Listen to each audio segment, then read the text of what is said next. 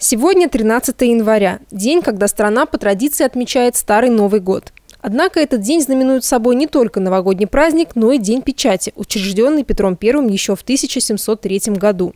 Именно тогда вышел в свет первый номер российской газеты «Ведомости». Саратовские журналисты отметили этот праздник в здании Энгельского театра оперетты. Гостями торжества стали, как ни странно, сами журналисты, представители Министерств области и даже губернатор. Последний, правда, посетил церемонию в самом конце, но зато удачно пошутил на тему нынешнего года, года литературы. Кстати, мне не хочется верить, что Грибоедов всерьез окрестил наш город как деревню и глушь.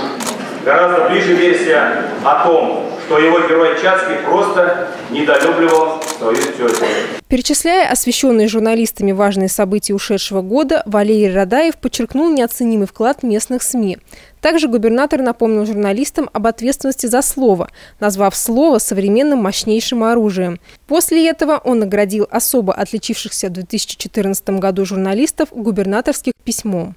Награды были не только от губернатора, но и от некоторых министерств области, среди которых Министерство культуры, Министерство промышленности, Министерство труда и миграции, ну и, конечно, Министерство печати и информации. Здоровье, просвещение, коммуникации – это вообще три кита, на котором стоит социум э, человеческие отношения и э, вообще существование.